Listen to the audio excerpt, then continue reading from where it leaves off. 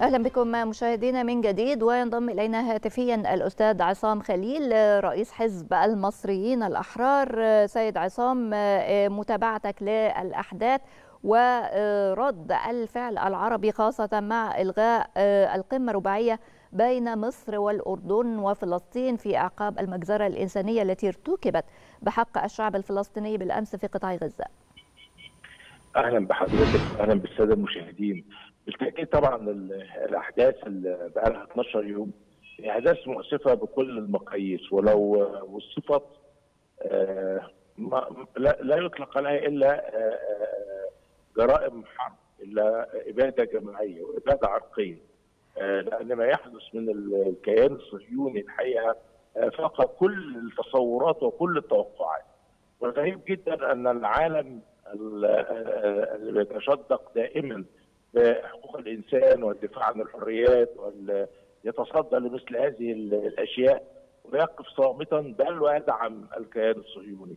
بإرسال حملات طائرات بارسال مارينز ويؤيد الكيان الصهيوني فيما يفعله. هو الفكرة أستاذ عصام تسليط الضوء على إسرائيل على أنه محتل. مع الأسف تصدير الصورة في الخارج أنه صراع ديني وهذا بعيد كل البعد عن الحقيقة. فندم حتى لو أي صراع أي صراع بأي مقياس بأي شكل لا ابدا يعطي مبرر اطلاقا لقتل وإغتيال مدنيين أبرياء وأطفال وضرب مستشفيات ويتعدى هذا إلى منع المعونات عن والإغاثة للمرضى والاخذ عنهم كل وسائل الحياة من كهرباء ومية وسرار الانتقال. هذا كلام لا لا يوجد له مبرر.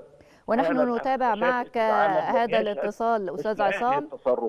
اسمح لي أستاذ عصام ونحن معك في هذا الاتصال. نتابع على الهواء مباشرة وقفة احتجاجية تنديدا بالعدوان الإسرائيلي على الفلسطينيين أمام نقابة الصحفيين في القاهرة والتنديد بالعدوان الإسرائيلي وبالأخص الاعتداء والقصف الذي حدث بالأمس على مستشفى المعمداني. تفضل.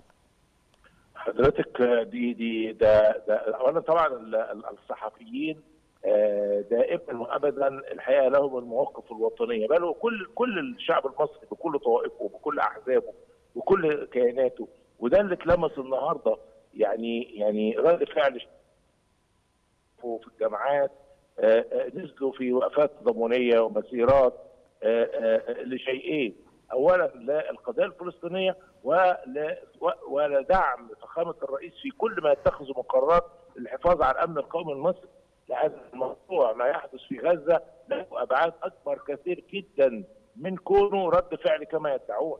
هو تصفية للقضية والاحتكاك وإرساء وتقويض الأمن القومي المصري باقتطاع جزء منه. هذا ما يرفضه القيادة السياسية وكل شعب. نعم. كلمة الرئيس عبد الفتاح السيسي كانت واضحة وشاملة أنه حذر بكل وضوح من مخططات تهجير الفلسطينيين إلى سيناء وتصفية قضيتهم. إلى أي مدى هذه الكلمة؟ كانت فيها يعني رسالة واضحة إلى العالم حول مخططات إسرائيل. هي الحقيقة واضحة جدا وكلمة فخامة الرئيس النهاردة أسقطت القناع عن الكيان الصهيوني بإظهاره تعنته في مجالات مختلفة. وبالذات حين قال إنه لو بيدعوا هذا للقضاء على الإرهاب الصادر الواصل اليهم من غزة وان يريدوا فقط القضاء على الإرهاب عليهم أن يتم الإجلاء مؤقتا إلى صحراء النقب حتى ينتهوا من مهماتهم ثم يعودون لأنه ده مش هو الهدف اطلاقا. الهدف الرئيسي هو توطين الشعب الفلسطيني في سيناء. طب إحنا بنقول شعب فلسطيني لأنه يقطن أرض فلسطين. الشعب يسمى بالوطن اللي بينشأ عليه. حين يعني يكون الفلسطينيين في في في سيناء ماذا سيطلق عليه؟ فبالتالي أنا عايز أقول هي إنهاء للقضية الفلسطينية وتصفية للقضية الفلسطينية. ولكن عليهم أن يدركوا أن هذا لا يمكن اطلاقا أن يعطيهم سلام لأنه ستظل الاجيال الفلسطينية تصارع من أجل العودة ومن أجل استقلالها يعني عليهم فخامة الرئيس وضع لهم الخطة عليهم أن يلجأوا إلى المسار السلمي والحوار السلمي والحوار الدبلوماسي وحل الدولتين إن أرادوا أن يعيشوا في سلام. نعم. أستاذ عصام يعني المظاهرات عمت عدد كبير من دول العالم تضامنا مع الشعب الفلسطيني وهناك تظاهرات أمام نقابة الصحفيين. الآن هي فيها تأييد من الموقف الشعبي للموقف الرسمي للدولة فيما يتعلق بالعدوان والمخططات الإسرائيلية. إلى أي مدى هذا الموقف الشعبي الرافض لهذه المخططات يأتي داعما للدولة في هذا التوقيت؟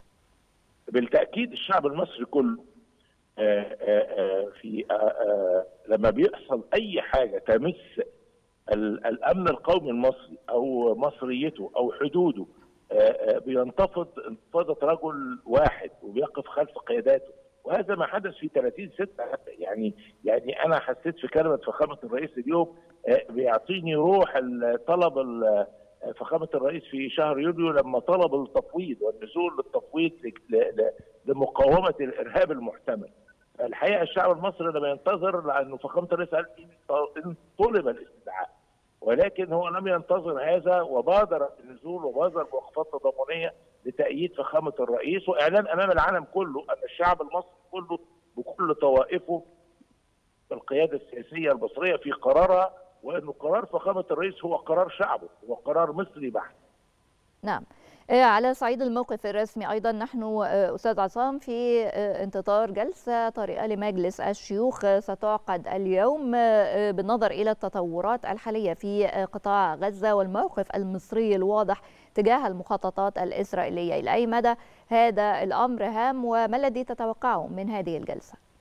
بالقطع مجلس الشيوخ ومجلس النواب هو تعبير وتمثيل للشعب المصري كله وأنا أؤكد ليك حضرتك إن القرارات اللي هتصدر مجلس الشيوخ أو مجلس النواب تكون بالكامل متطابقة ومتفقة مع موقف فخامة الرئيس ومؤيدة ليه بالكامل يعني ولكنه هذا الإظهار أمام العالم كله أن مصر على قلب رجل واحد بترفض هذا تماما ولن تفرط في حبة رفض من من أرض مصر خالص.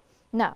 بالنظر إلى الدول العربية العديد من الدول العربية شهدت أيضا مظاهرات احتجاجا على التصعيد الإسرائيلي في قطاع غزة في اليمن في تونس في تركيا حتى تجمع العديد من المتظاهرين أمام القنصلية الإسرائيلية. هذا الموقف الشعبي العربي.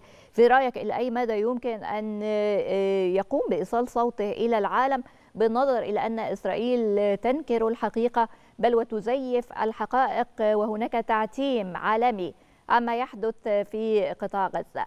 نحن نتابع معك وهناك جلسة طارئة بشأن التصعيد الإسرائيلي على غزة في مجلس الأمن الآن. تفضل. أه الحقيقة أه وحضرتك في جزئيتين في السؤال. الجزئية الأولانية موقف الشعب العربي موقف واضح دائما. ولكن خليني أقول لحضرتك أنه أنا الأوان إلى الحكومات العربية جميعها أن تأخذ موقف أكثر جدية من مجرد اللقاءات والبيانات فالعرب يمتلكوا عدة مقومات قوية وأسلحة قوية من ضمنها سلاح البترول.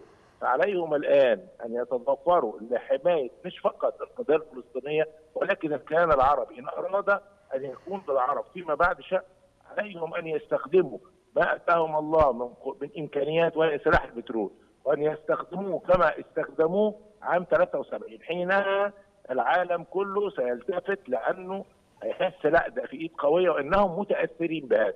حينئذ سيتم الضغط على إسرائيل، لكن الحقيقة أنا شايف إنه ان مصر لوحدها هي اللي واقفة وبجسارة وبجسارة البطل فخامة الرئيس وبتدافع عن القضية وأمنها القومي.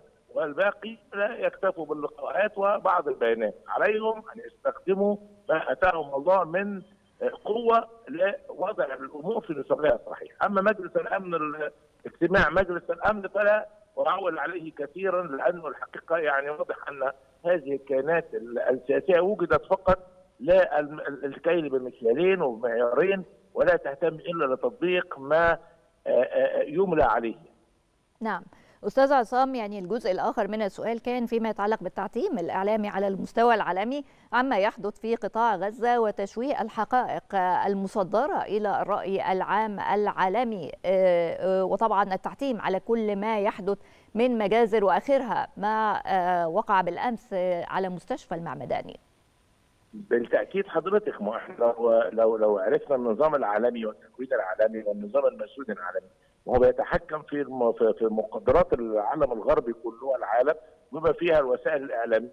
وهم يعني بيدعوا بالحياد والحقيقة لا يوجد حياد حتى وسائل التواصل الاجتماعي. لو أي حد من المصريين نزل بوست النهارده على الفيسبوك بيدعم فيه فلسطين بيشوف إيه اللي هيحصل له. يعني يا بيحصل له بيقفلوا له الصفحة بتاعته يا إما بيبعتوا له بنعمل بريفيو على الصفحة أو حتى بيبقى ديلي قوي في النشر. فأين العدالة؟ العامه يعني هنرجع تاني بقى ونقول ما يؤخذ بالقوة لا يسترد إلا بغير القوه فعلى الأمة العربية كلها أن تظهر تضامنها وقوتها للوقوف ضمن هذا فالعالم لن يلتفت إلا لو لن أثر. نعم. مصر على مدار تاريخها أستاذ عصام داعمة للقضية الفلسطينية بكافة صورها وهناك من يحاول أن يلعب في أو يحاول تعكير صفو هذه العلاقات بتشويه الموقف المصري. هل هذا الغضب الشعبي وهذا التأييد الكامل للحفاظ على القضية الفلسطينية وعدم تصفيتها بالوقوف أمام تهجير الفلسطينيين عنوة إلى سيناء في رد الكافي لتوضيح الموقف المصري ودعمه للقضية الفلسطينية.